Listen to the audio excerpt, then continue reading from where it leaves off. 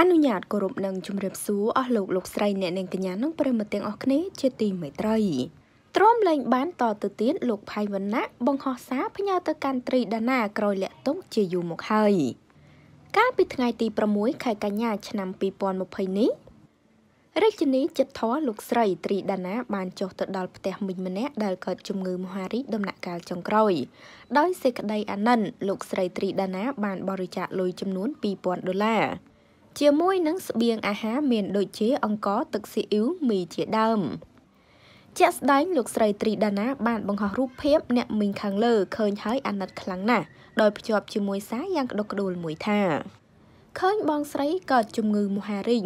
ពិតជាអាណិតណាស់នាងខ្ញុំបានទៅមើលដល់ផ្ទះហើយគាត់ពិតជាលំបាកពិតមែនខ្ញុំបានជួយជាស្បៀងអាហារនិងថវិកា2000ដុល្លារទៅគ្រាន់ព្យាបាលបន្ត គាត់មានកូនស្រី2នាក់ហើយឥឡូវឈឺក្រោកលេងរួចទៀនប្តីវិញខំទៅធ្វើការកម្មករសំណង់សងលុយគេថ្លៃព្យាបាលព្រោះអស់លទ្ធភាពហើយ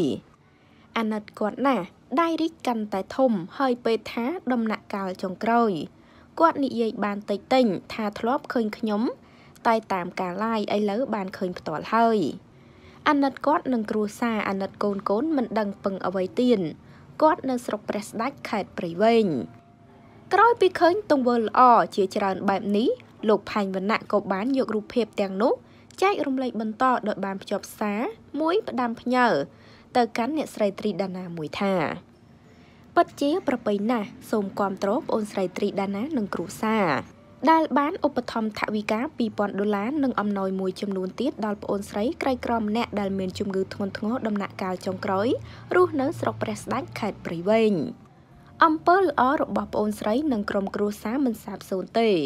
សូមជូនពរប្អូនស្រីទទួលបានជោគជ័យក្នុងមុខជំនួញជាពិសេសមានអតិថិជនគ្រប់គ្រងកាន់តែច្រើនចាលោកផៃវណ្ណា ទ្រាំមិនសរសើរអ្នកស្រីត្រីដាណាមិនបានដែលជា មនុស្សម្នាក់ពោពេញទៅដោយទឹកចិត្តសប្បុរសធម៌ឲ្យតែលោកស្រីដឹងថាកន្លែងណាមានការលំបាកពិតប្រាកដនោះ លោកស្រីតែងតែជួយជានិញថវិកាតិចក្តីច្រើនក្តីគឺជួយ គ្រប់គ្នាតែម្ដង លោកផៃមណៈសរសើរចំចំតែម្ដង ដែលពាក្យពេចន៍ទាំងអស់នេះគឺលាក់ទុកក្នុងចិត្តយូរហើយចាហើយតេតងនឹងព័ត៌មាននេះដែរក៏សូមបញ្ចប់តែត្រឹមនេះ ឥឡូវយើងងាកមកតាមដានព័ត៌មានជាបន្តទៀតដែលតេតងទៅនឹងបែកធ្លេសម្រស់ពេលមិនតាន់ចូលសិល្បៈរបស់កញ្ញាឈិនម៉ានិញឃើញហើយមើលមិនចង់ស្គាល់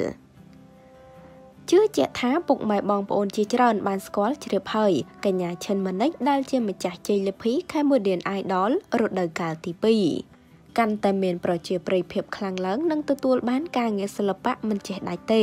ទើបធ្វើឲ្យតារារូបនេះកាន់តែមានភាពល្បីល្បាញជាងមុនថែមទៀតតារាចម្រៀងស្រីរូបនេះមកពីខេត្តកំពង់ស្ពឺ ហើយនាងមានសម្លេងផ្អែមស្រទន់និងពីរោះអន្លង់អន្លូចខ្លាំងណាស់ដោយសារតែសមត្ថភាពដ៏ពូកែរបស់នាងបែបនេះហើយទើបនាងទទួលបានការគាំទ្រខ្លាំងមកដល់សប្តាហ៍ថ្ងៃនេះ ដោយឡែកបើយើងក្រឡេកទៅមើលរូបសម្រស់របស់នាងកាលពីមិនទាន់ចូលសិល្បៈឃើញថាពិតជាភ្ញាក់ផ្អើលខ្លាំងណាស់ព្រោះពេលនោះតារាស្រីរូបនេះតុបតែងខ្លួនបែបសាមញ្ញសាមញ្ញមើលទៅមិនមានភាពតាក់ទាញអ្វីខ្លាំងនោះឡើយ។បើធៀបនឹងពេលបច្ចុប្បន្នឃើញថាមានការប្រែប្រួលយ៉ាងខ្លាំងព្រោះពេលនេះឈិនម៉ានិញចេះលេងខ្លួនស្រស់ស្អាតពីមួយថ្ងៃទៅមួយថ្ងៃ យ៉ាងណាមិញក្រោយឃើញរូបថតរបស់ឈិនម៉ានិញកាលពីមិនទាន់ចូលសិល្បៈរួចបានធ្វើឲ្យអ្នកគ្រប់គ្រងលន់មកថា Idol ពិតជាប្រែប្រួលរូបសម្រស់ខ្លាំងណាស់ពីមុនមិនសូវស្អាតទេប៉ុន្តែពេលនេះមិនបាច់មើល គឺថាកប់តែម្ដងអ្នកខ្លះក៏លើកឡើងថា idol គួរឲ្យស្រឡាញ់ណាស់មិនត្រឹមតែច្រៀងពីរោះទេថែមទាំងមានរូបសម្រស់ស្រស់ស្អាតទៀតឥឡូវនេះ ចានេះគឺជារូបថតមួយចំនួន របស់ឈិនម៉ានិចកាលពីមិនទាន់ចូលសិល្បៈយើងឃើញថាខុសប្លែកពីពេលបច្ចុប្បន្នខ្លាំងមែនទែនដោយកាលពីមុនគាត់តែងខ្លួនបែបសាមញ្ញសាមញ្ញមើលទៅមិនគួរឲ្យចាប់អារម្មណ៍នោះទេប៉ុន្តែពេលនេះពិតជាស្រស់ស្អាតនិងប្លែកសាហាវតែម្ដង ចាតើប្រិមិត្តយល់យ៉ាងណាដែរសូមចូលបញ្ចេញមតិម្នាក់មួយចាហើយតកតងនឹងព័ត៌មាននេះដែរក៏សូមបញ្ចប់តែត្រឹមនេះ សូមចុច Subscribe និងរូបកណ្ដឹងដើម្បីទទួលបានព័ត៌មានថ្មីៗជាបន្តទៀតសូមអរគុណសូមគោរពលា